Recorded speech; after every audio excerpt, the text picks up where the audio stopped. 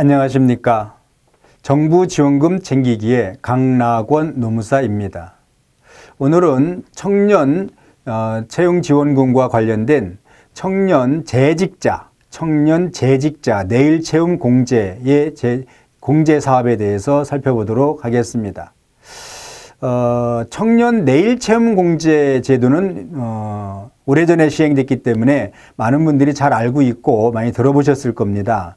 근데 청년 재직자, 어, 청년을 신규로 채용하는 사람들만 목돈 마련의 기회를 주는 것은 좀 불공평하지 않느냐 뭐 이런 측면에서 기존에 이미 중소기업에 재직 재직하고 있는 사람, 재직하고 있는 청년들에게도 목돈 마련의 기회를 주자 해서 청년 재직자 내일 채용 공제 제도가 2018년도에 새롭게 예, 도입이 됐습니다.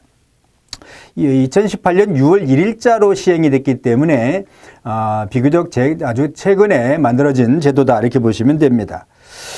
어, 중소기업에 1년 이상 재직하고 있는 어, 청년, 여기서 말하는 청년은 마찬가지로 15세 이상 34세 이하인 근로자를 말하는 것이고 그 근로자들의 자산 형성을 지원하기 위한 사업으로 도입이 됐다 이렇게 보시면 됩니다.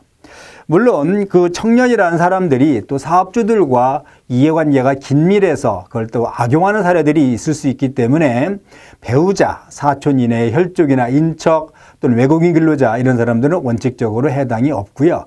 또 그런 그 소속된 기업 자체가 부동산업이라든지 주류업이라든지 사행업 같은 어, 불건전한 업종에 있는 사업체들은 적용이 제외된다. 이걸 좀 참고하시면 좋겠습니다. 어, 청년 재직자 내일 채용 공제는 그러면 얼마만큼 어떻게 적립돼서 인정이 되는 것이냐 하는 것이 좀 관심이 있겠는데요.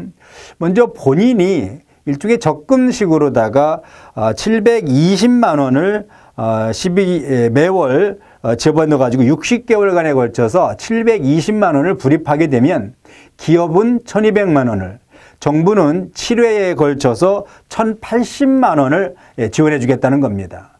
그렇게 해서 목돈을 좀 마련해 줘서 어떤 그 장래에 대한 대비를 하는 데 도움을 주겠다. 뭐 이런 얘기입니다. 그래서 최소 적립 금액이 이것은 3천만 원으로 설계가 되어 있고요.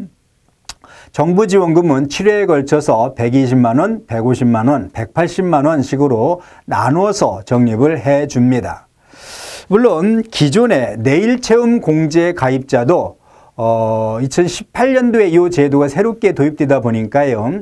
2018년도 12월 말일까지를 기한으로 해서 전환해서 가입하는 것도 예, 가능하도록 설계가 되어 있습니다.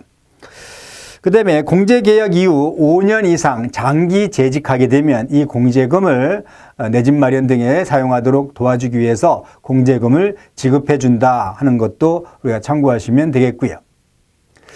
그 다음에 음, 내일 채용 공제와 관련된 세제 혜택 제도가 있습니다.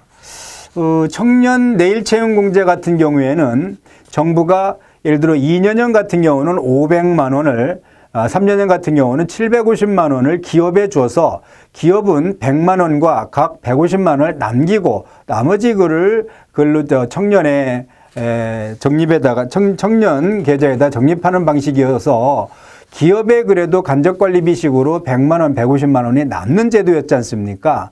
근데 이 청, 내, 어, 청년 재직자 내일 채용 공제와 관련돼서는 그와 같은 지원금 대신에 비용으로 인정해 주고요. 그러니까 법인 기업은 손금으로 처리하고 개인 기업은 필요 경비를 인정해 준다는 것이니까 이 비용 처리해 준다는 것은 상당히 큽니다.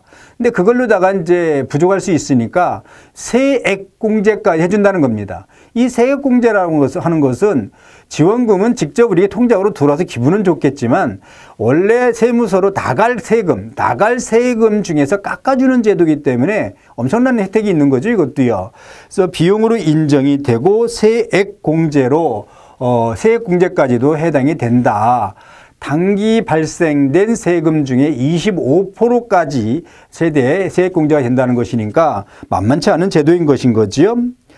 그 다음에 음, 중소기업 특별세 감면제도 같은 것들이 있어서 이 세액공제하고 중복될 수 있는데 이거 중복 적용도 가능하다 하는 것인 거고요.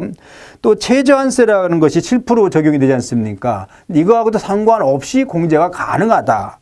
또 농어촌 특별세 비과세와 별도로 적용되는 또 특수한 그런 성격을 가지고 있는 제도입니다. 이상 청년 재직자 내일 채용 공제에 대해서 살펴봤습니다.